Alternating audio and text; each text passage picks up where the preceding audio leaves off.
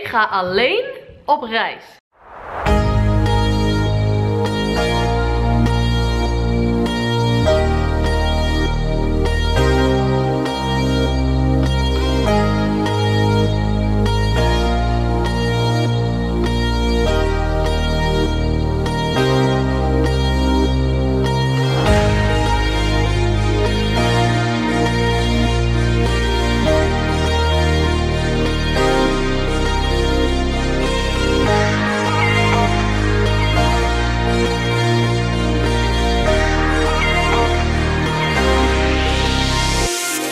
In San Francisco.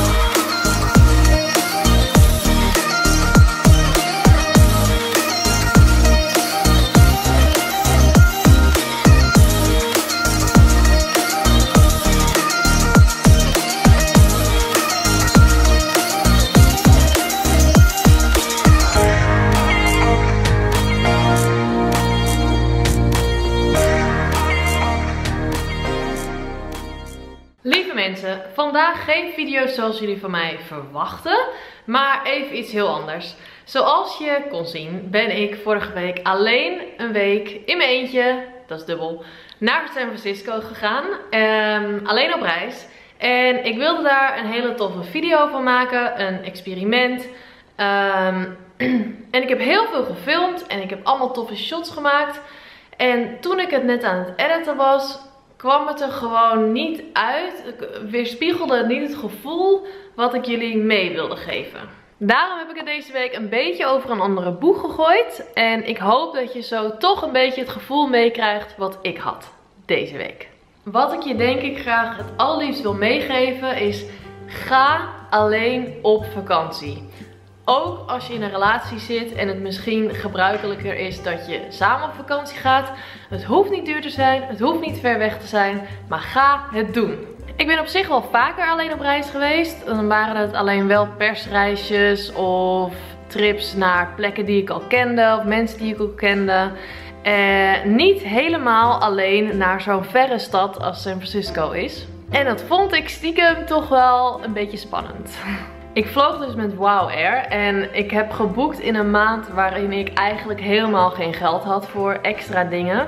Maar ik kwam een heel goedkoop ticket tegen, namelijk iets meer dan 300 euro voor een toertje San Francisco. Dus ik dacht, weet je, let's do it. Gewoon ticket boeken, niet over nadenken, spannend spannend, maar nee, gewoon doen. Maar ik had dus ook geen handbagage bijgeboekt. Wat betekende dat ik één persoonlijk item, zoals bijvoorbeeld een rugzak mee mocht nemen. That's it. Nou zijn er slimme bedrijven die daarop hebben ingespeeld en van de maximale afmetingen toch een koffertje hebben gemaakt. Tada! Als je het interessant vindt, ik ga je straks laten zien hoe ik dit mini koffertje inpakte voor een week vakantie. Eerst nog even verder over mijn reis. Ik had namelijk deze week gehoopt een soort rust te kunnen vinden. Misschien mezelf een beetje te vervelen. Met de hoop wat mindspace te creëren voor wat creativiteit. Maar zoals alles in het leven gaat het niet zoals je verwacht. En dus vond ik dat totaal niet. Als je echt rust zoekt, dan kun je ook beter misschien naar een rustige plek gaan. Want San Francisco is nogal heftig. Het is natuurlijk gewoon een grote stad. Zoveel indrukken. Dus ja, daar vond ik mijn rust niet. En daar baalde ik in eerste instantie ook wel een klein beetje van. Maar al snel leerde ik wel iets wat ik niet had verwacht. Mocht je het hebben gemist, ik heb vorig jaar een tijdje in New York gewoond. En daar proef je altijd dat carrière maken en ambitie samengaat met drukte, drang om te presteren, druk om te presteren, uh, haast. Um, ja, gewoon heel veel onrust en... en, en uh. En in San Francisco kom ik erachter door met mensen te praten die bij Google werken, bij YouTube, bij Patreon, dat het ook anders kan. En dat was ik even vergeten, denk ik, door mijn New York ervaring.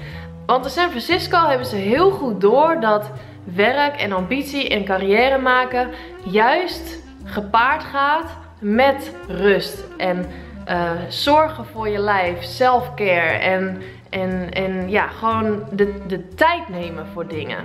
Juist als je je wil focussen op een carrière en eh, je hebt veel ambitie, dan moet je wel gewoon rust nemen om lekker te koken uitgebreid en rustig te sporten en veel voor ontspanning te kiezen. En ja, ik vond het echt super mooi om dat te zien hoe mensen dat uh, ja, gewoon in één leven verwerken. En ja, ik was het gewoon kwijt. Ik, ik, ik, ik zit zo in een wereld waarbij ik zelf ook altijd voel dat ik altijd haast heb. En uh, nooit rust en tijd voel voor dingen. En um, ja, ik vond het heel mooi om dat te zien. En dat was een goede herinnering eigenlijk voor mezelf. Een goede reminder eigenlijk. Ik vond het ook tof om te zien hoe die mensen bij Google en YouTube gewoon een rust hebben. En ja, ik, ik had verwacht dat ze misschien helemaal een soort van gestrest zouden zijn. En nee, ja. Ik, ja, ik vond dat een mooi inzicht.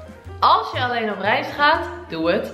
Zorg dat je je een beetje inleest. In San Francisco is het namelijk zo dat er wel bepaalde wijkjes en straatjes een beetje ja, wat gevaarlijker zijn, zeg maar. En je misschien niet als vrouw in je eentje s'avonds moet gaan rondlopen.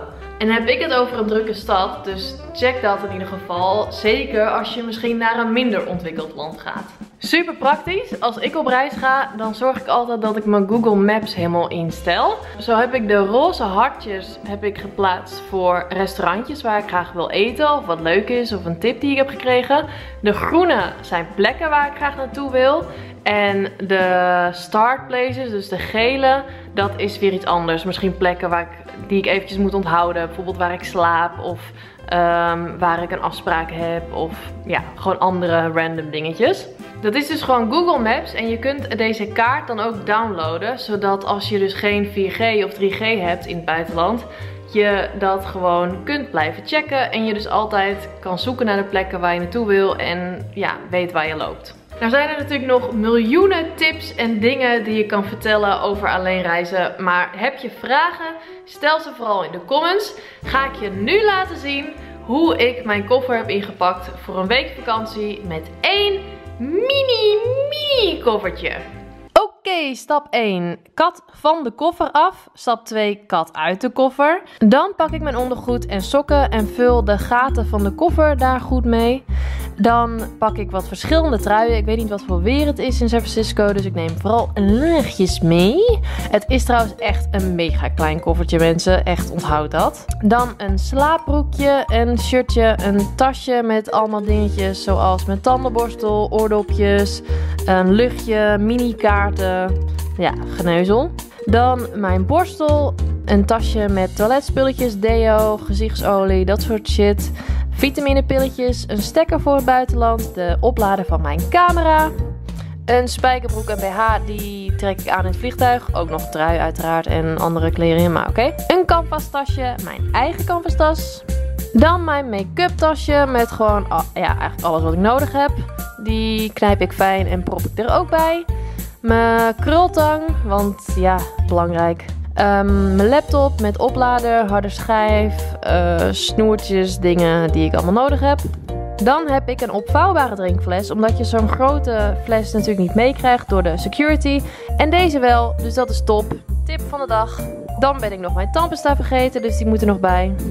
In het voorvakje doe ik nog een maaltijdreep die ik heel fijn vind, zodat ik nooit honger lijd. En in mijn kleine tasje heb ik van alles, van een zonnebril, een pen, een rietje, oordopjes natuurlijk, een spork, um, mintjes en paspoort ook wel belangrijk. Oh ja, en lipgloss, altijd lipgloss.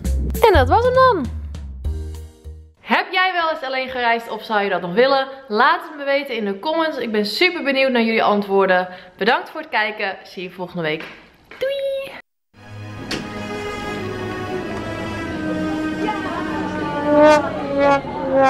Nou, dit sneuwe, trieste, zielige stukje film was dus ik die dacht dat misschien Max me wel kwam ophalen op Schiphol.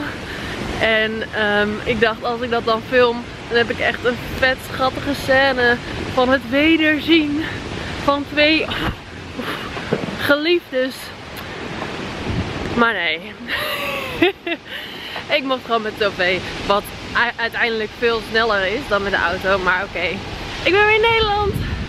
En ik heb vet veel zin om weer naar degene toe te gaan die met smart op mij wacht. Die mij de hele week zo hard heeft gemist.